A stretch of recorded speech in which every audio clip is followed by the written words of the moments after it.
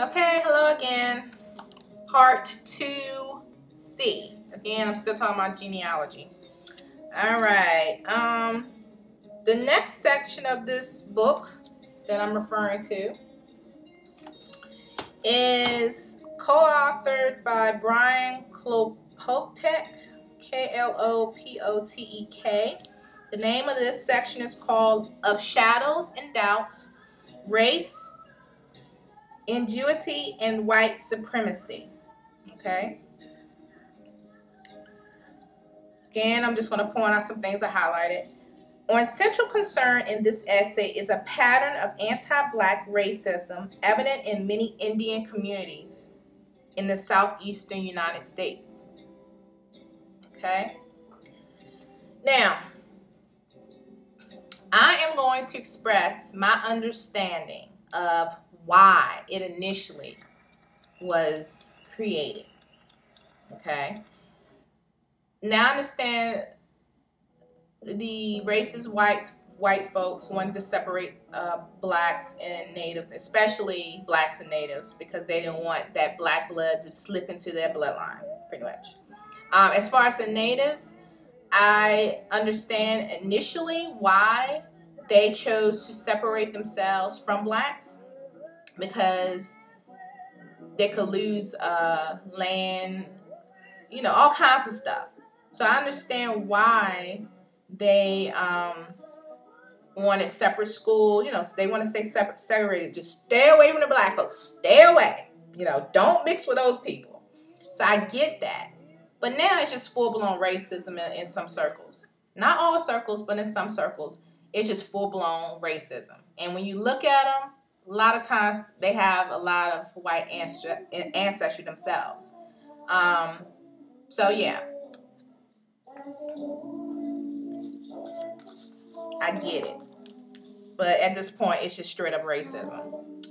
Um, the next page I highlighted under regular uh, regulating racial categories. Um, educational segregation became a key way for Indians in the South to distance themselves as much as possible from blacks. Yes. So they were for segregated schools. They did not want to associate with blacks the ones that wanted to keep the culture, the language, and all of that. But eventually, it just became racism. Next page. An Indian community with even a small degree of black ancestry is much less likely to have been acknowledged as Indian than a community with even greater degrees of white ancestry, making it far more difficult for them to establish claims. I will say it again. An Indian community with even a small degree of black ancestry is much less likely to have been mm-hmm. acknowledged as Indian than in a community with even greater degrees of white ancestry, making it far more difficult for them to, to establish claims. And people wonder why there are groups, for instance, Facebook, social network platforms, where they have groups for black and natives, African native connections, things of that nature. People that have that mixture. People wonder why, oh, oh what why is this created? You know, you're you're trying to separate yourselves from the indigenous population. We shouldn't distinguish between phenotypes. We should you know what? At the end of the day, you, if you don't have the black blood, but you're also native, you have privilege. We don't. You can choose to be indigenous. We have to fight for our identity. There is a difference, period. Next page, 81. Considering that previous acknowledgement from the federal government is the gold standard and is supposed to establish tribal existence at every point prior, African ancestry becomes a considerable barrier to recognition. Again, African ancestry becomes a considerable barrier to recognition. Again, we have a few state recognized tribes in the state of Virginia. And I'm telling you, the, the, I'm sorry, but the ones that push away any black kin or anybody that look black and they look very white and whatever, they're gonna be recognized first by the federal government. I hate to tell it to you, y'all. I hate to I hate to keep it real, but in this day and time, they're the ones gonna get recognized first. Hate to say it, I really do. And I will support, I'm sorry, I will support tribes in Virginia that people look like me. Okay? I will support them because I know it's an uphill battle to get federally recognized because of that. Thus, tribes with black ancestry petitioning for federal recognition are clearly at a disadvantage. Drop down. Tribes with minimum black ancestry will have a more difficult time gaining acceptance from other tribes. Okay? Other tribes than will tribes with similar degrees of white ancestry because of the ways in which Indians have been encouraged through the twin processes of colonization and racial oppression to adopt anti anti black racism. I know I ain't crazy. And this is what I've been sensing anyway. And a lot of people want to hide behind this whole tribal sovereignty and, you know, they have the right to choose who they want in their tribe. But yeah, you got people that look like me, okay? That have the ancestry, that have the blood, DNA, everything. First cousins, if you want to say, with somebody that don't look like me but look more white. They will push people out. We don't want you. Now, I know there's an issue going on with people who are enrolled who don't have black blood, but they're being disenrolled. That's another topic of discussion. But I'm just talking about the whole black native thing right about now, okay? But yeah, so I know I ain't crazy. When I go somewhere and I see people um, who are claiming their indigenous ancestry, which ain't nothing wrong with it, because I'm not I'm not a tribal police person. You know, I'm not going around telling people who is native who ain't. That's not my place, okay? So I want to get that straight. That is not my place to go around and point my finger and say who's native, who's not native, whatever. Not my place. So if a person who's non-black, that's mixed with indigenous American, they claim their indigenous American ancestry, that is their prerogative. But I'm just saying, for those who don't understand the black and indigenous mixture experience and they have negative things to say, those are the people that pisses me off because they don't understand and don't care. Okay, next. Most present day Caribs or Kalinago live in the Carib territory on the island of Dominica. I don't even know why why I highlighted that. That's talking about okay.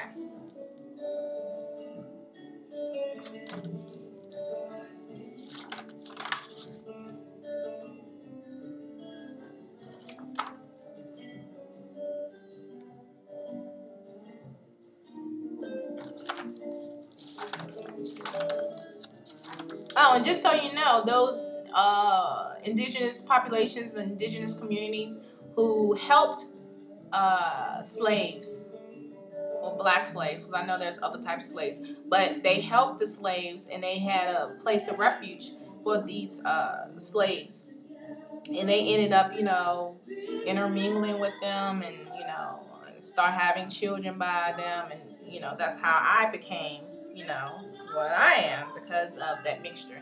But those tribes who have a history, a track record of doing that, they, for some reason, have the hardest time either getting recognized or if they're already recognized, they're having a hard time receiving funding.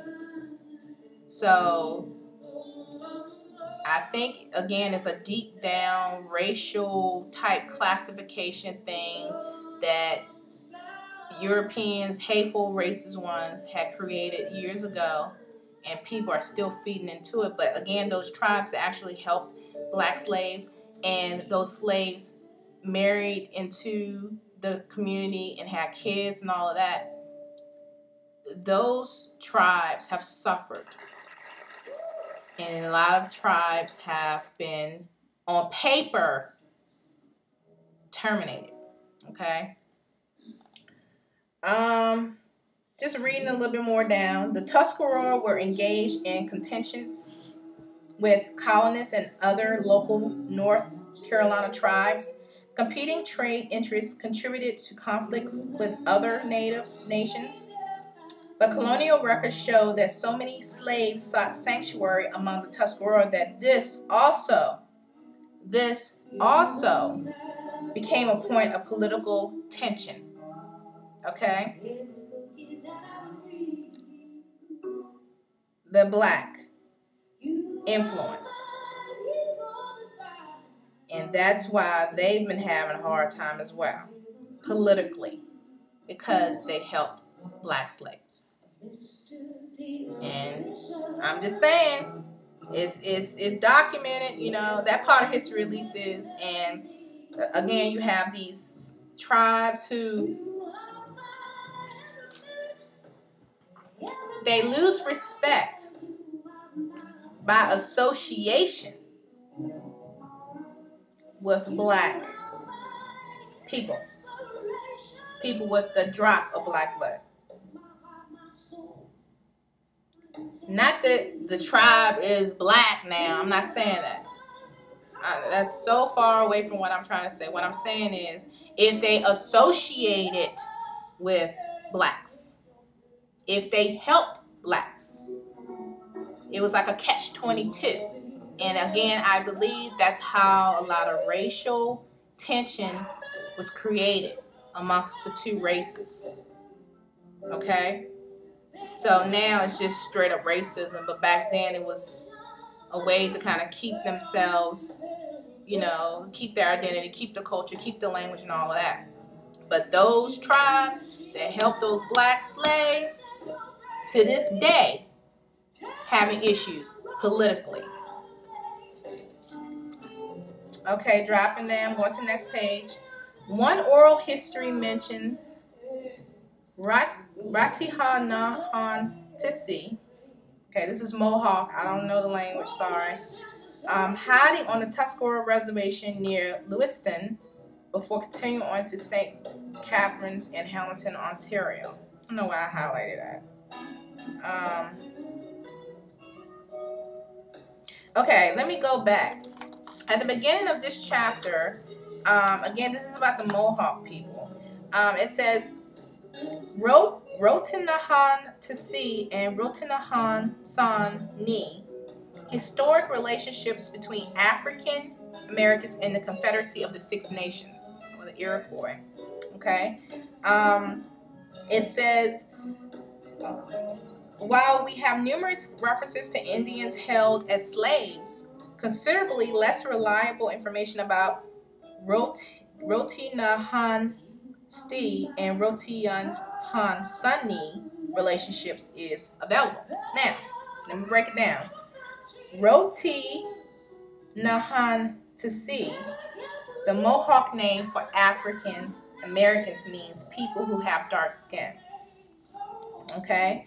And then Rotin, uh, Rotin, Rotinan San Ni refers to people of the Longhouse or the Mohawks. So they consider they they refer to themselves as Rotenhan San Ni, and they refer to black slaves as Rot Rot Hanahan see. Okay, so I'm just gonna say, just for the sake of me chopping up a word, I'm just gonna say, C Mohawk.